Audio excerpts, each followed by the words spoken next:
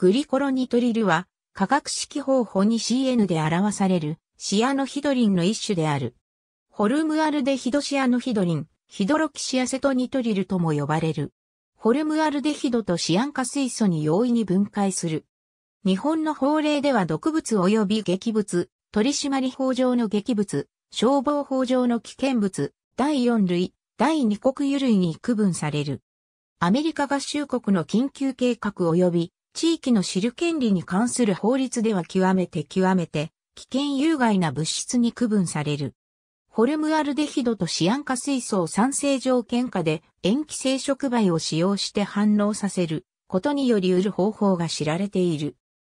触媒として0.01から1%の酢酸ナトリウムを溶解したホルマリン液に pH4.8 から6.0、液温15摂氏30度に維持しつつ、ほぼトウモロの生産を適化し反応させた後、硫酸で反応液を pH2 以下に調整し、ついで摂氏50度以下で減圧して、残留した生産を除去することにより、高純度のグリコロニトリルを生成する方法が開発されている。グリコロニトリルは pH7.0 以上の塩基性条件下では重合する。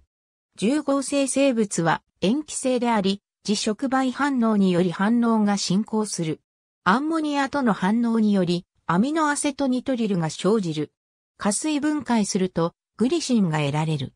工業的に重要なキレート剤であるエドタは、グリコロニトリルとエチレンジアミンを反応させた後加水分解することにより調整される。ニトリロ酸酢酸についても同様である。ありがとうございます。